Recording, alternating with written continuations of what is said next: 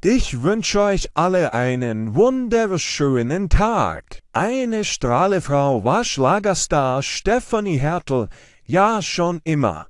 Doch irgendetwas ist anders als sonst. Ja, sie zeigt sich fröhlicher denn je, sie wird locker und entspannt, ja geradezu befreit. Ganz exklusiv krempelte sie in meinem Interview ihr Inneres nach außen und packte alles aus. Ein Neuanfang ohne Ehemann Lenny. Das steckt genau dahinter.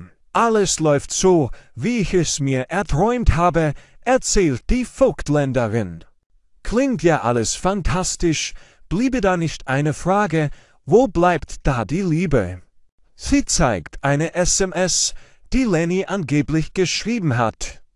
Stephanie zieht aktuell ihr eigenes Ding durch und wirkt so, als hätte sie sich von den Lasten der Vergangenheit jetzt endgültig befreit.